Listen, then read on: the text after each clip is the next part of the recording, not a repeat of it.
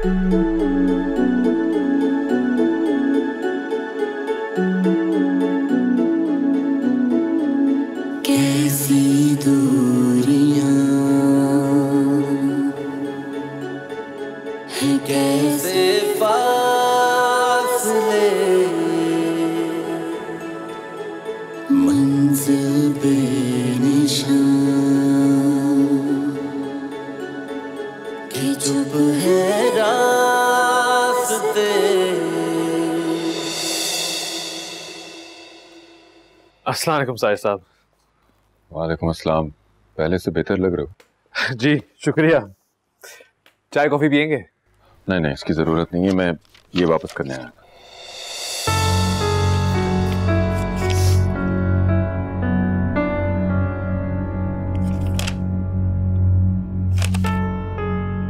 ये ये तो हमारे कॉन्ट्रैक्ट की कॉपी है। मेरी तरफ़ से ही कॉन्ट्रैक्ट खत्म हुआ। आज के बाद हम कोई प्रोजेक्ट साथ नहीं करेंगे। मगर क्यों? ऐसा क्यों कह रहे हैं आप साहिब साहब? इसलिए कि जो बात मैं करने जा रहा हूँ उसमें सबसे पहले तुम्हारा एहसान उतारना ज़रूरी है। और शुक्र है मुझ पर इस वक्त कोई बोझ नहीं है। अब ये बताओ मेरी बेटी कहाँ है अमर? मेरी इफरा कहाँ है? साजिद साहब अहमर से सवाल करने का आपका कोई हक नहीं है। वैसे भी इफ्रा का बाप तमीजुद्दीन है। जो हमारी फैक्ट्री का एक मामूली सा मुलाजिम है जिसने बड़ी चालाकी से अपनी बेटी को मेरे भाई के सर पे एक मुसीबत बना के डाल दिया है। हम आपको नहीं जानते।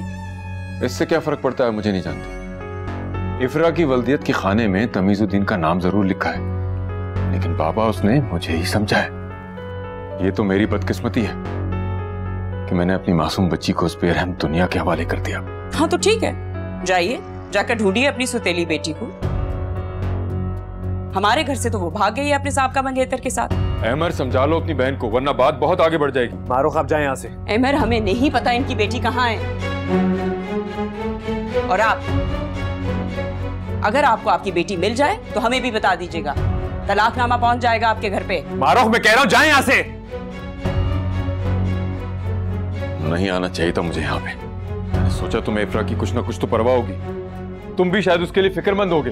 तुमसे तो अच्छा वो साहिर है, जो सारे शहर में इफरा को ढूंढता फिर रहा है, दीवानों की तरह। दर बदर हो गया वो। तुमसे तो ये भी नहीं हुआ।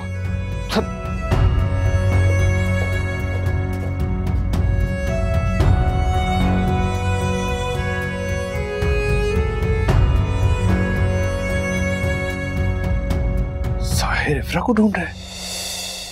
खिले थे फूल जो सभी मुरझा गए हैं। सही ना जाए इस दिल से।